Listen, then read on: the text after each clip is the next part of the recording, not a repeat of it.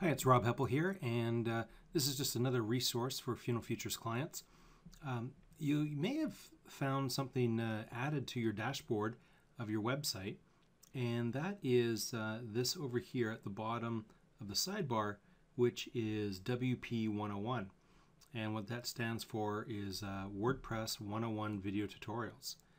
And what we've done is we've installed these into your site and you can don't worry they're not taking up any resources on your site.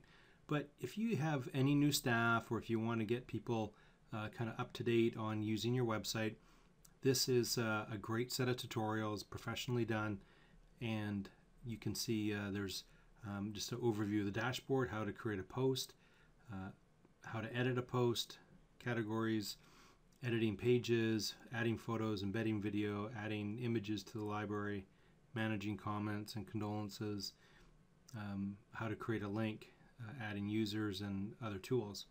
Uh, we can also add additional uh, videos here as well, but uh, this is just kind of a core set of training, just like the title says, 101. Uh, so if you ever have a new staff member, new new person uh, working on the desk, and you want them to kind of get a handle of the the use of the website, have them go through these uh, these videos.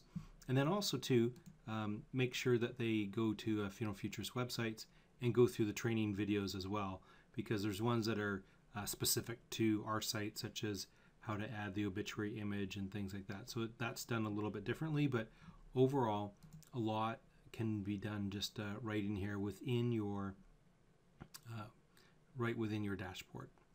So um, there's no additional cost for this. It's just part of you being a Funeral Futurist client, and we appreciate you having uh, having you as a client. And let me know if there's any other way that we can make your experience with Funeral Futurist websites better.